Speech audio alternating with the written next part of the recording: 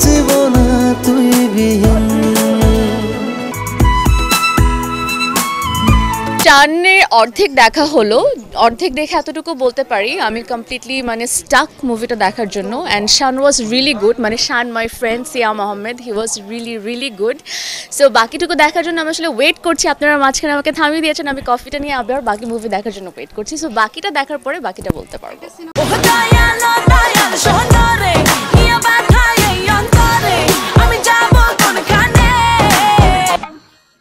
এটা কমপ্লিটলি ভিন্ন একটা গল্প অ্যান্ড আপনারা অবশ্যই সিনেমাটা দেখলে নতুন কিছু দেখতে পাবেন। অ্যান্ড যেটা বলতে পারি যে সিয়ামের হয়তো বা এতদিন আপনারা রোম্যান্টিক কাজ দেখেছেন ওর অ্যাক্টিংয়ের কাজ দেখেছেন বাট এই মুভিতে তার অ্যাকশন দেখতে পারবেন যেটা দেখে সবাই অনেক অ্যামেজড হবে।